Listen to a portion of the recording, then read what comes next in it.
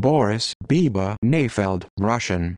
Cyrillic capital letter B, Cyrillic small letter O, Cyrillic small letter ER, Cyrillic small letter I, Cyrillic small letter S, Cyrillic capital letter B, Cyrillic small letter I, Cyrillic small letter B, Cyrillic small letter E, Cyrillic capital letter EN, Cyrillic small letter A, Cyrillic small letter short 1, Cyrillic small letter F, Cyrillic small letter I, Cyrillic small letter L, Cyrillic small letter soft sign, Cyrillic small letter T, Belarusian, Cyrillic capital letter B, Cyrillic small letter A, Cyrillic small letter ER, Cyrillic small letter Euro, Cyrillic small letter S, Cyrillic capital letter B, Cyrillic small letter Belarusian Ukrainian 1, Cyrillic small letter B, Cyrillic small letter A, Cyrillic capital letter N, Cyrillic small letter I, Cyrillic small letter short 1, Cyrillic small letter F, Cyrillic small letter I, Cyrillic small letter L, Cyrillic small letter T is a former Belarusian Russian mob boss and heroin trafficker who operated out of Brighton Beach, New York City. Arrival to America and rise to power Boris Nayfeld arrived in the United States in the late 1970s as a Soviet Jewish refugee under the Jackson-Vanik Amendment.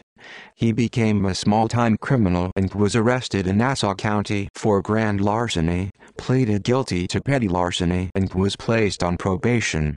He later became a bodyguard and chauffeur to Brighton Beach mob boss Evsei Agron.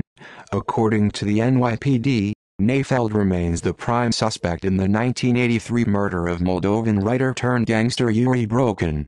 After Agron's murder in 1985, Nayfeld became an enforcer for Ukrainian mob boss Marat Balagula who ruled the neighborhood rackets before being convicted of gasoline bootlegging in 1991.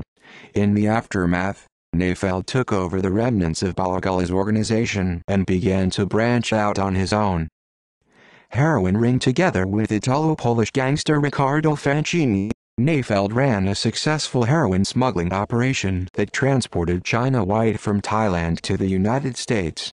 After being smuggled into Singapore, the drug was hidden in television picture tubes and shipped to Poland via a Belgium-based import-export company.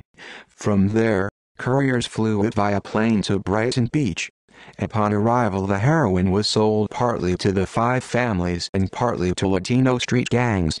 Things were going well for Nayfeld and he spent his time in either a luxury apartment in Antwerp with his mistress and his family home on Staten Island opposite a nature reserve.